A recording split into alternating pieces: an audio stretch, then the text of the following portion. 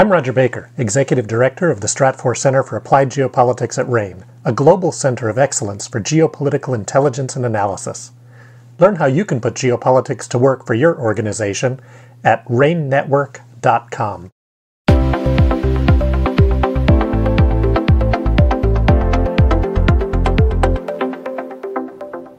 Welcome to the RANE Insights podcast from RANE Network.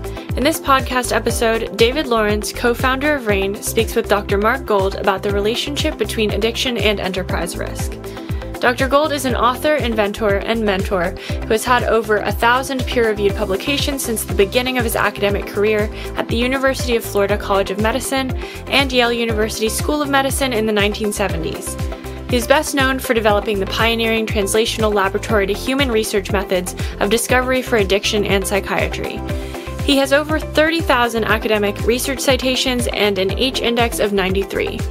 He has made impactful contributions to psychiatry, neuroendocrinology, radiation oncology, transplant biology, orthopedic surgery, public health, pain, obesity medicine, and substance use disorders. Gold was a founding member of the McKnight Brain Institute and ultimately became one of its directors. Mark, this is a, uh, a very, very special treat to, and I want to thank you in advance for lending your perspective and your support. Uh, this is the inaugural podcast of United States of Addiction, and uh, I would be remiss if I didn't provide some context. Uh, I won't reveal how old we are respectively, except we both have had significant birthdays of late, and uh, we've been around the block. But I was a young prosecutor in the Southern District of New York at the U.S. Attorney's Office, um, and I was part of the narcotics unit. And I still remember uh, decades and decades ago the um, session and the introduction I had to you when you came in to speak to uh, a small group of prosecutors about a an issue you were seeing on the horizon, and you came to educate us and to warn us and to advise us about uh, something called crack cocaine. And um, so, again, many years later, and obviously we've done things together, but it's great to reconnect and actually have the technology and the ability to maybe scale some of your great insights and perspectives and writings to a broader audience because you truly are a very, very important asset to this country. And hopefully we can share um, the knowledge, wisdom, and insights that uh, people need to understand this and to manage it and to deal with it in their own personal lives. Uh, a subtitle, as you and I discussed uh, for the podcast, is One Degree of Separation.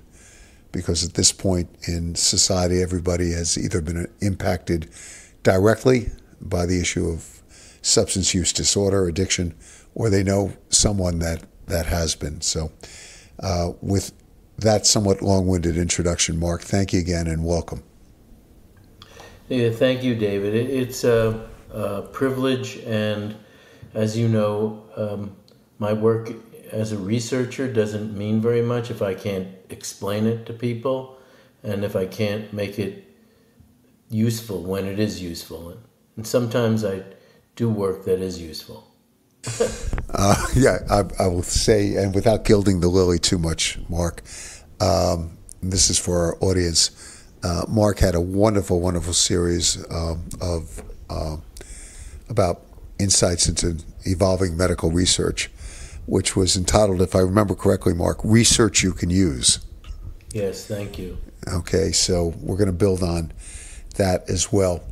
Um, I think it, just by way of a personal narrative, Mark, if you can take us through your career a bit, I think that will be helpful for the audience and just obviously um, how, as a one of the nation's leading psychiatrists, uh, your work in the area of addiction, substance use disorder has evolved and the different roles that you've had. Sure, I'll um, try to. Uh cut it down as much as logical and still make some sense out of it.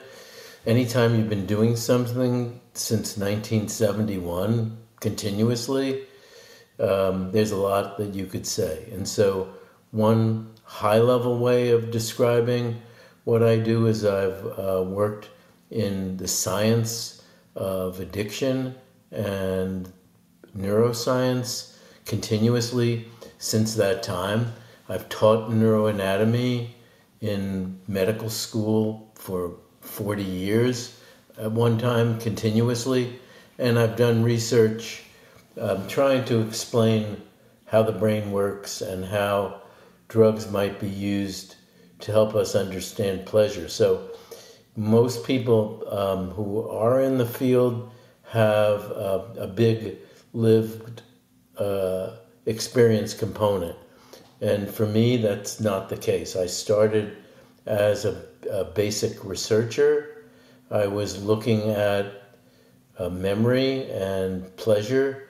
And as it turned out, I uh, was advised by mentors at that time to use amphetamine as a, a probe because people were using amphetamine to study, and actually, there was very little data on did amphetamine improve your memory? Did amphetamine, uh, what did it do in the brain, and so forth. So um, I studied what uh, amphetamine and memory in, in animals and, and showed something that uh, is a, a consistent finding among researchers for the last 50 years, and that is if you learn something in a certain chemical state, let's say straight, not on drugs, and you're asked to recall it straight, not on drugs, you have maximum recall. Uh, if you learn something in the amphetamine state and are asked to remember it in the amphetamine state, an identical amphetamine state, you have near maximum or maximum recall. So you're really the same as learning it in the straight um, non drug state, non drug state. However, if you learn something in the amphetamine state and are tested or quizzed, or you have, you have the misfortune of having to take a test in a different uh, amphetamine state, there's a mismatch, and you really don't remember as well. And so you see people trying to remember, they hit themselves or try to stimulate themselves to get back to this chemical state again. Anyway, that was called state dependency of memory, and is I had a series of, of studies on, on that. And, um, you know, even today, that's used um, in OB training to help medical students and residents understand why women remember childbirth so well, but only when they're in it again, because the chemical states align and you have maximum recall. If you didn't have state dependency of memory, maybe no one would have a second child because it's so painful and arduous. So um, I started there and then um, kind of moved on to think about what amphetamine did in the brain, and it worked on dopamine and norepinephrine. And I spent really maybe the next 20, 25 years studying both of those neurotransmitters. So I studied norepinephrine and moved from Florida to Yale, where I had the chance to work in basic science labs with um, George Aghajanian at Yale University, and then in non-human primate and human research, um, studying um, noradrenergic systems, and um, ended up by 77, 78, um, figuring out where in the brain opioids acted, how the brain changed with chronic opioid administration, what was the panic button in the brain during opioid withdrawal that caused all the great distress, and then how you might reverse it with an opioid or might reverse it with a non opioid, and that led to the invention of clonidine or lofexidine, alpha adrenergic medications that could eliminate withdrawal. So that kind of made me uh, an addiction expert it's in 1970s, even though I still thought of myself as a pleasure researcher because I was continuously interested in dopamine. And I kind of then moved in what do you do when you detox a person? And that got me to naloxone and naltrexone and MATs, medically assisted treatments. And um, at Yale, Herb Kleber, a mentor of mine, um, offered me the, the chance to run the medication assisted treatment program at Yale that um, he was the director of. And that meant I had firsthand experience with naloxone in the Yale emergency room, reversing overdoses. Uh, naltrexone was an experimental treatment to prevent relapses, and methadone. We had a large methadone program at that at that time. So I worked from uh, the laboratory to humans, and um, I think that's the core experience that set me up with lots of ideas and lots of questions, and I've tried to answer them as I could, as the technology allowed, over the rest of my life.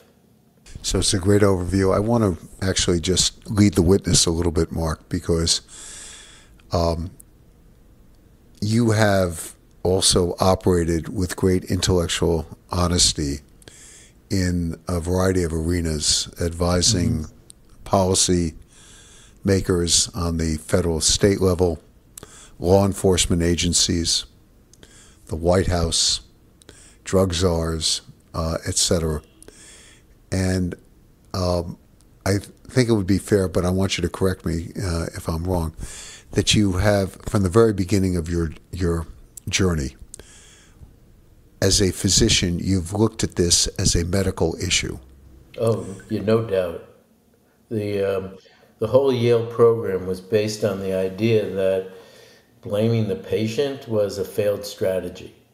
Um, white knuckling was a failed strategy, and it was up to us to develop treatments to reverse overdose. And keep in mind, we gave naloxone in the emergency room in the early 70s at a time when maybe in the whole United States there were 1,300 or 1,500 overdose deaths. This is really an orphan drug. And then we had a methadone program at that time with hundreds of people in New Haven and storefront clinics around the city of New Haven.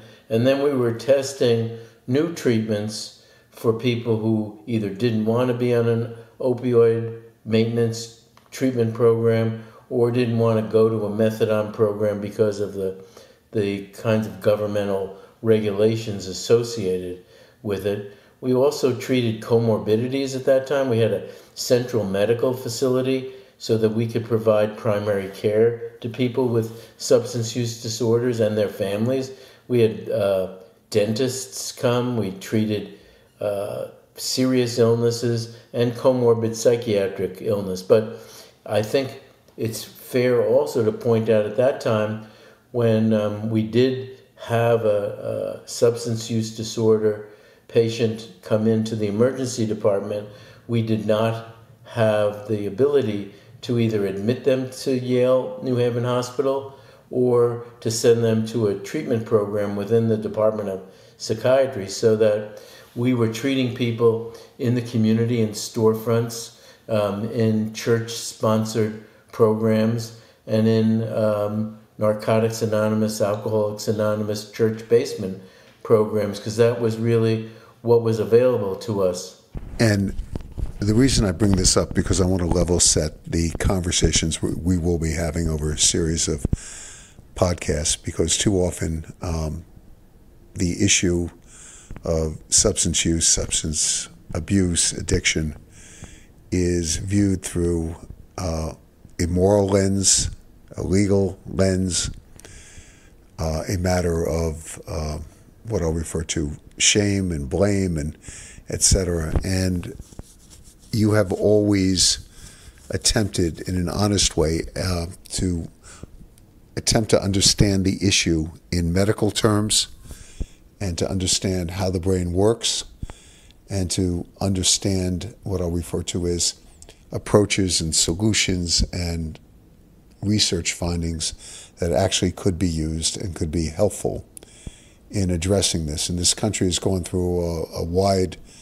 cycle of responses, and you know we're going to be reviewing some of that from the days of uh, Nancy Reagan and just say no to the imposed, you know, harsher penalties for certain forms of drugs, etc. But Mark, uh, I think it's fair to say, and I want people to, to hear this, this is not a um, an issue where you're either hard or soft on the uh, on the question.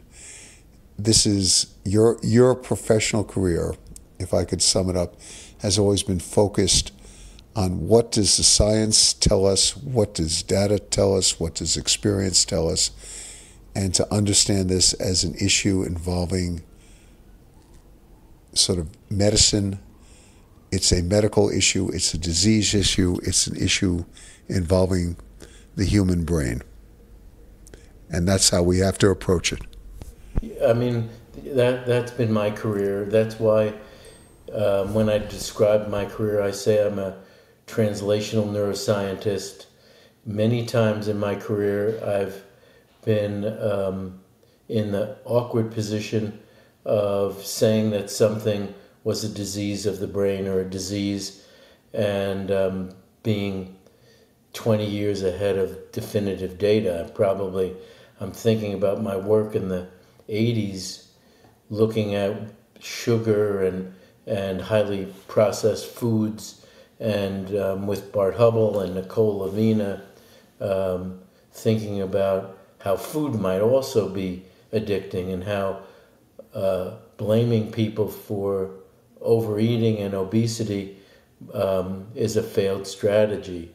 So we we have um, we can talk about all of these kinds of things because they'll come down to the notion that the brain has within it what we call phylogenetically stable, meaning from rats to non-human primates to humans, the core pleasure system of the brain is the same. That's really sad to consider uh, be, uh, oftentimes, but we do have the ability to learn how to control that.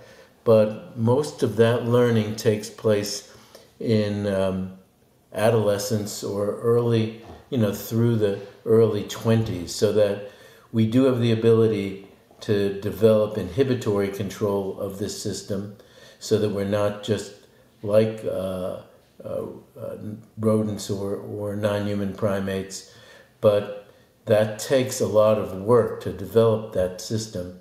Um, the system itself can dominate a person's daily thoughts, can be intrusive, can demand attention, and demand the fulfillment of a drive, which is an acquired drive.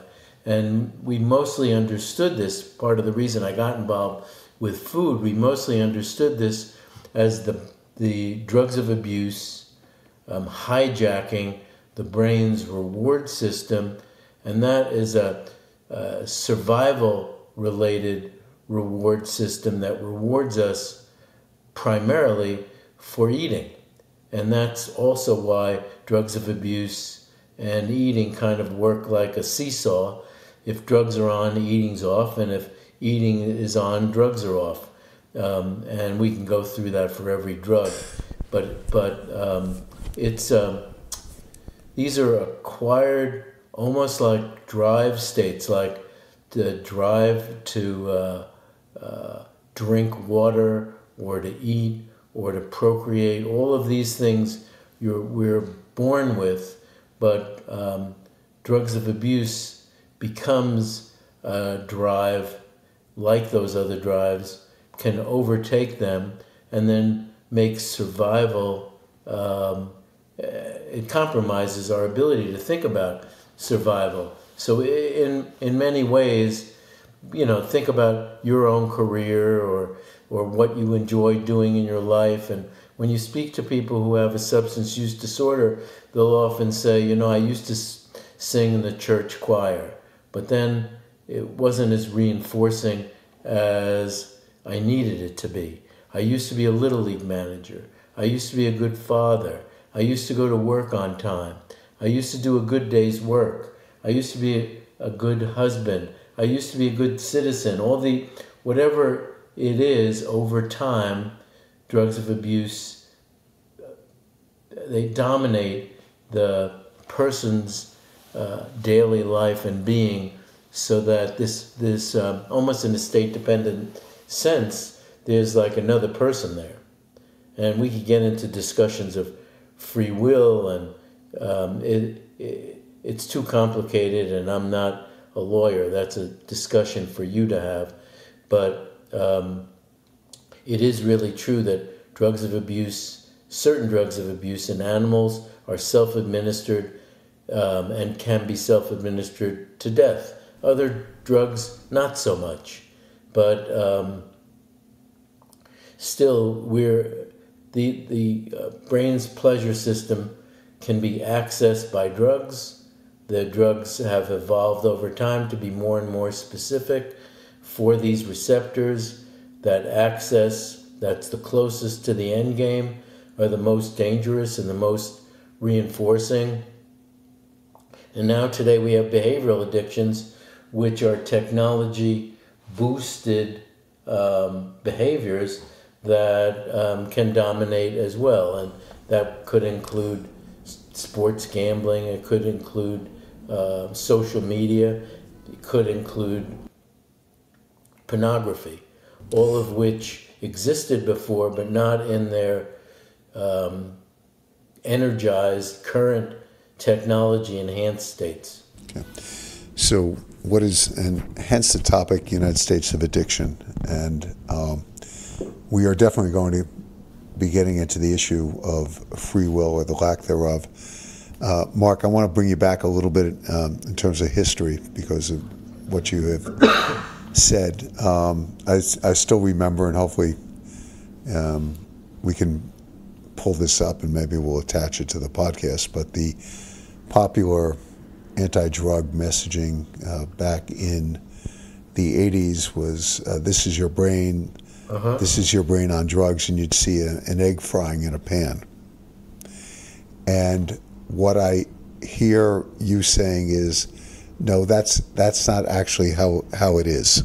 Okay, that is uh, that is not how this happens, and maybe the end result is your brain gets fried.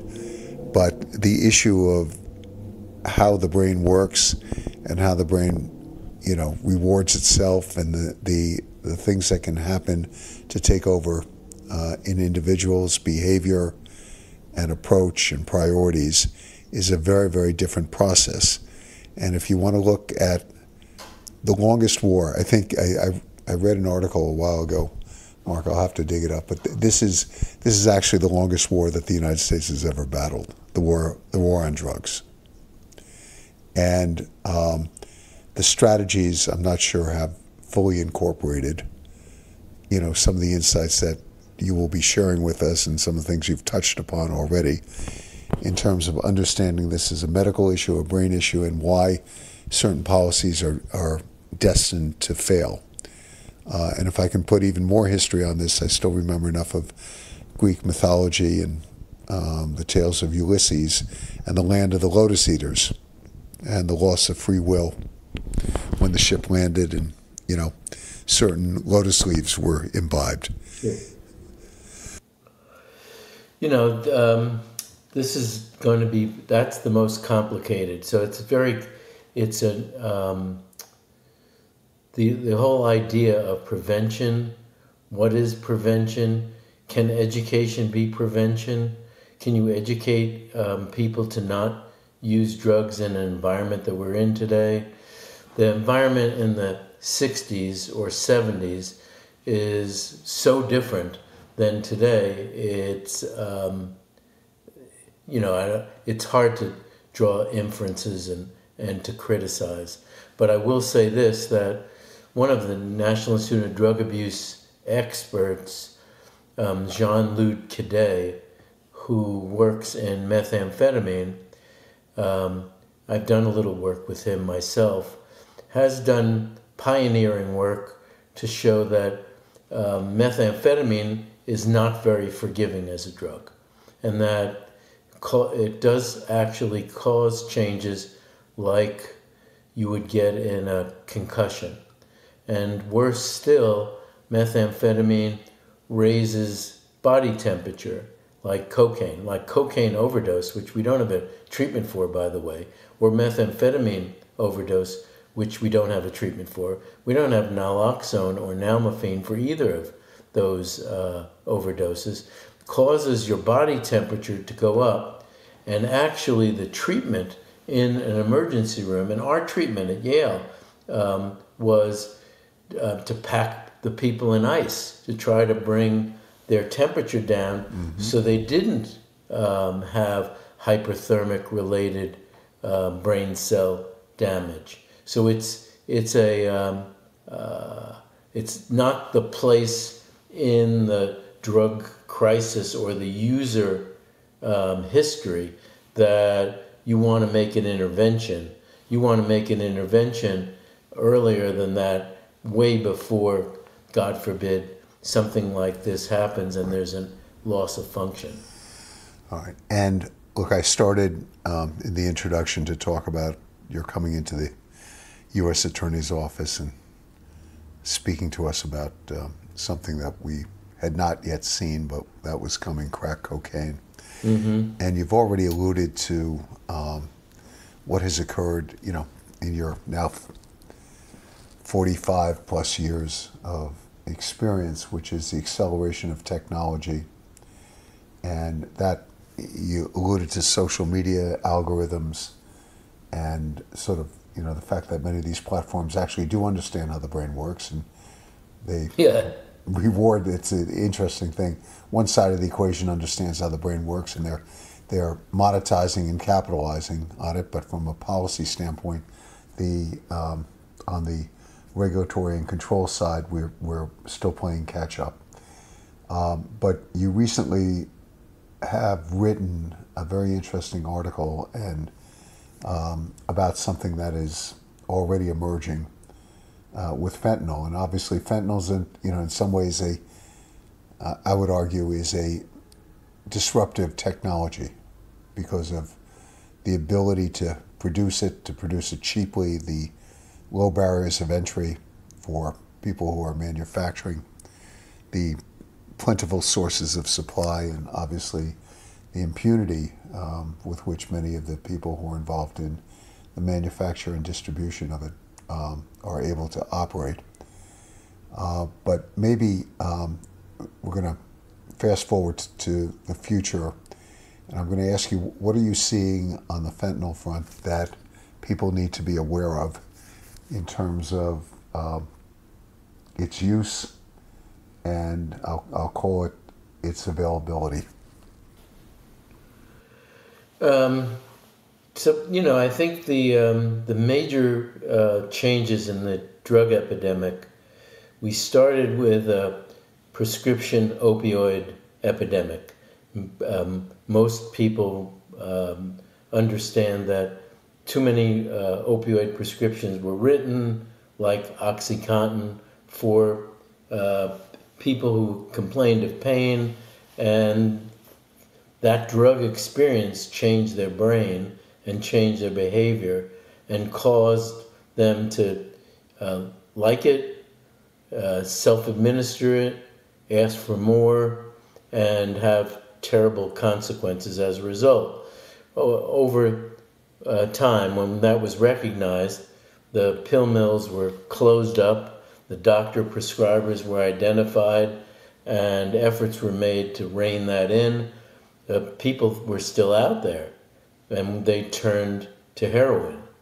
Um, heroin um, is uh, transshipped in bulk, as you know. The DEA does a pretty good job of trying to find it and find it um, however, as the, the as heroin took over for OxyContin and prescription opioids, it was quickly replaced by fentanyl that could be made in a lab and could be sent in the U.S. mail and bypass most um, enforcement control.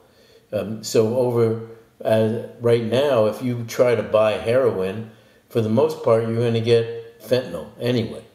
Um, it used to be we thought of fentanyl as a contaminant, but no, it's really replaced heroin because it's a hundred times more potent, and the volume is very uh, insignificant. It's easy to send and people do literally just send it in the mail. Um, the number of overdose deaths due to fentanyl increased over time again, and now I'd say 80% of the overdose deaths are due to fentanyl. Even the methamphetamine and cocaine deaths that have been rising are due to fentanyl. And fentanyl is a, is put as as a kind of Trojan horse in um, counterfeit pills as well. So there's small amounts of fentanyl in counterfeit pills, but this, when you say small for fentanyl, um, I think I'll forget the exact number, but I'd say it's 0.007% is a lethal dose for most people of fentanyl. So you've heard people say it's smaller than a top of a pin, or it. You're not going to detect it very often. You know, fentanyl overdoses um, took off.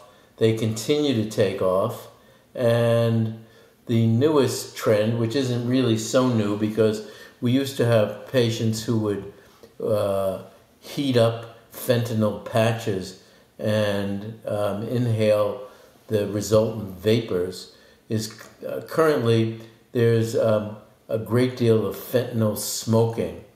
So, fentanyl smoking um, started pretty much in San Francisco.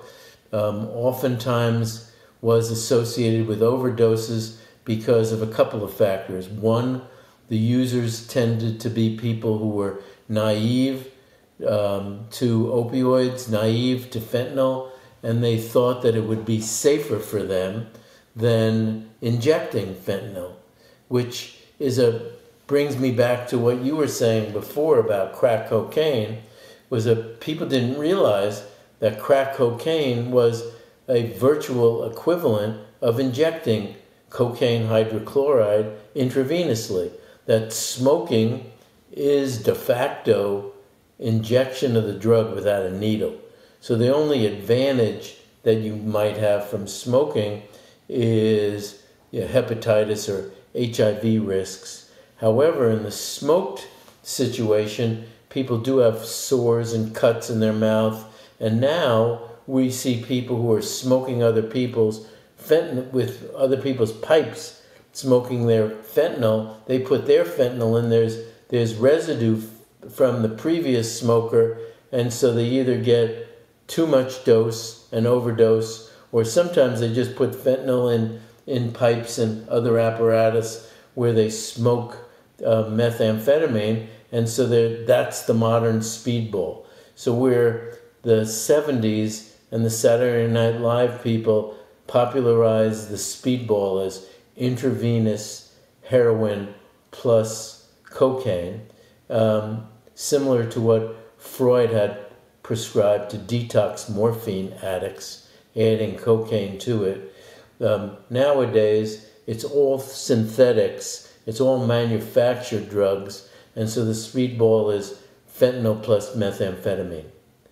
Um, highly dangerous, prone to overdose, and if you don't overdose, the methamphetamine, as I said from Jean Luc Cadet's research, does not leave the brain in the same state that the brain was in before it was exposed to methamphetamine. So it's a challenging um, place that we're in right now as far as drugs of abuse are concerned.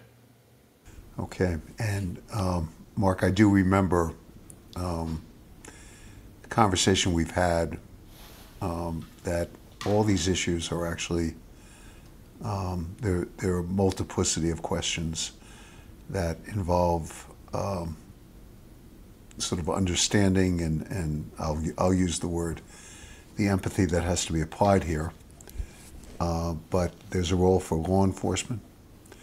Um, this is a geopolitical concern because of the multitude of sources of supply and where drugs come in. Um, it is a slippery slope. Very often, you know, decisions are made that uh, without fully understanding the consequences, and often by young people who are innately inclined to take risks. Um, you've spoken in the past about co-occurring conditions or people who are suffering from anxiety and depression and they sometimes turn to self-medication and then they feel better and again it's uh, a slippery slope from there and then the types of you know treatments medically psychologically um, that have shown to be more effective than others and in the upcoming podcast we're going to be going into all these uh, we also sent around to the network a brilliant article which you wrote about the role of um, exercise and nutrition in uh, addressing substance use disorder, and I want to get into that in coming podcasts. Um, but as you were talking about, you know, basically fentanyl and, and, and it how little is needed for it to be a lethal dose. Um, there was a story recently that made the headlines, and in some respects, it's the same old story, but still, it's a it's a recent revelation uh, about a talented young woman um, who actually I think she was pre med uh, at a university in uh, New York, uh, who thought she was taking a Percocet with a one of her college friends at a party. It turned out to be fentanyl, and she died and um, I want to sort of delve in in future podcasts with you. You know, what what is the role of institutions in staying informed and informing whether they're students at a university, employees at a business, you know, government agencies and their folks. This is again um, sort of a uh, recurring issue, epidemic, that um, you know takes no prisoners and you know knows no boundaries. It's one degree of separation at most, and we'll be getting into all of that um, with you in coming podcasts. But I wanted to basically. Um, well, that's a terrible story. Yes, you know the story then. Yeah, yeah I do, and you know I just couldn't. Um, it, it's a um, the the field like of um, suicide prevention, where you've always also worked and where I had an interest too. Um, there's been a good deal of study on the second and third hand effect on the family and survivors, and there has been insufficient study and support for the survivors of uh, accidental overdoses. Right. And you can imagine how difficult it must be. Um, I also, you know, uh, in in one of my recent articles, I I said probably the best prevention campaign in modern days is the DEA's "One Pill Can Kill," because if that message would have gotten to this pre medical student, she would have realized that bootlegged non prescription pills, one pill can kill. Um, sharing somebody else's prescriptions um, is never a good idea, but today is especially dangerous. And I just bring this up because it struck me when you think about um, behavioral addictions or social media. Just imagine if a social media company was giving people counterfeit pills that were killing them. Like, uh, you know, it, it's it's um, it's unbelievable to think that someone would kill their customers even, um, and that if you just added up the overdose deaths, I, I had this statistic for one of my uh, articles. If you just took since 2000 it's 1 million people, 1 million overdose deaths. You're like, how could that be? Um, and uh, it's a, it must be that we're not capable of learning lessons from people who have tragic outcomes. And instead, we think that we're smarter than they are, or they made a mistake in their use pattern, or whatever their experience is, it doesn't relate to me. So that the prevention message um, in these million deaths have been lost on people um, and on our culture. Um, and as you said, it's not even an issue in um, daily uh, interactions. And we're not even seeing this in the uh, coming up, at least in the polling around the upcoming presidential campaign. Other issues seem to have gone forward, yet this is has been an existential risk uh, for this country. And I'll just comment, you know, the one pill that ki- one pill can kill, uh, but the so the uh, I'll call it the ancillary message, Mark, is that the pill you think you're taking is not the pill you actually are taking. And that's. Yeah, I mean, uh, I think right. you know we we've gotten used to um, this kind of shadow marketplace.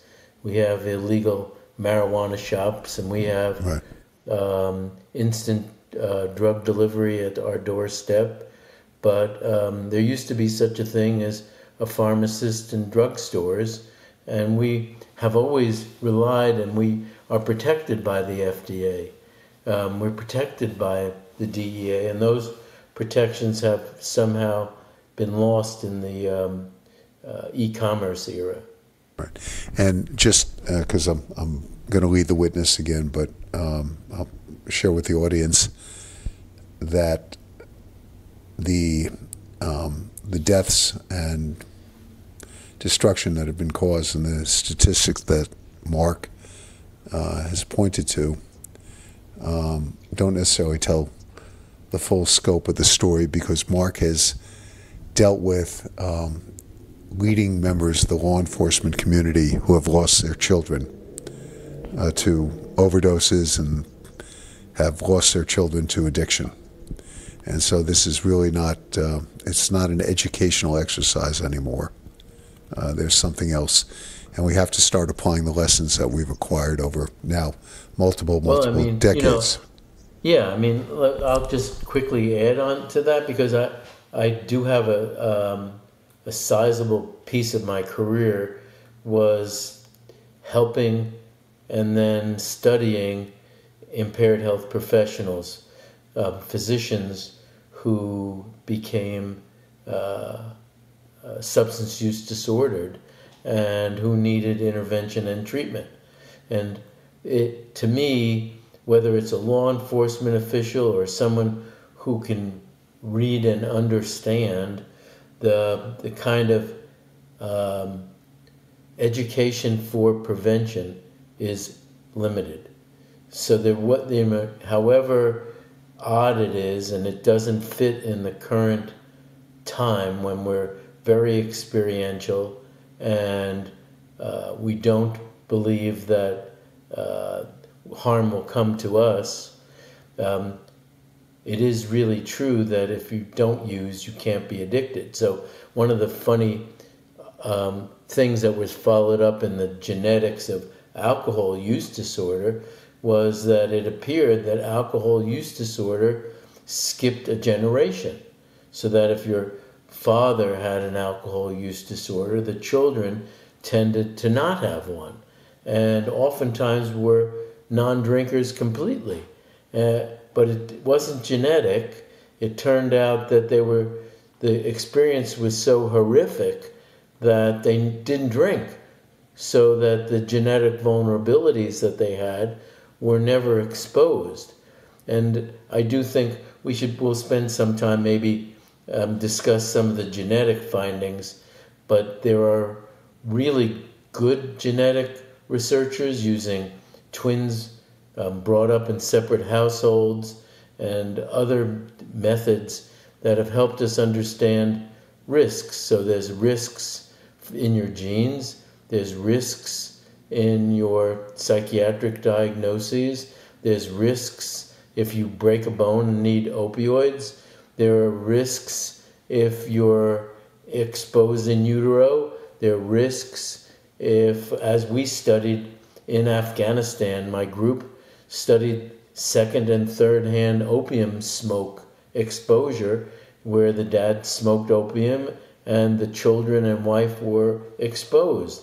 These are so there's a multiplicity of risks, but the bottom line is that drugs of abuse have been modified to make them more reinforcing, and the more attractive, stimulating, and reinforcing they are, the less capable we are of saying no to them. Mark, I want to thank you for your time today and um, obviously some of the great articles you're pushing out through Psychology Today, but also the continued research and, and your collaboration with great people around the country. Um, so look forward, this is an introductory podcast.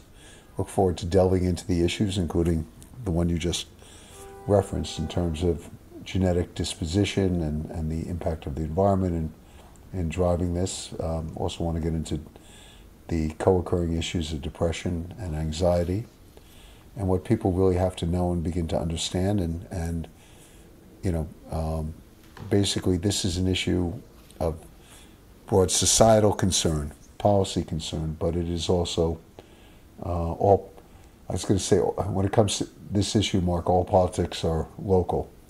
So at the school level, community level, and of course on the family level.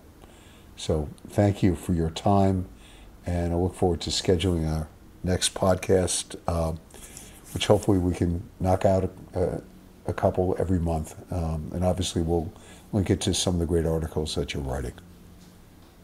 Well, it's my pleasure, and I'm happy to help. And I really appreciate you focusing on this because um, it's we really don't focus on it enough. Um, if you think about the total number of people who are expected to die this year of just overdose alone, that's well over 100,000. The number of people who will need emergency room treatment. Um, addiction medicine, you know, when I started, wasn't even a field.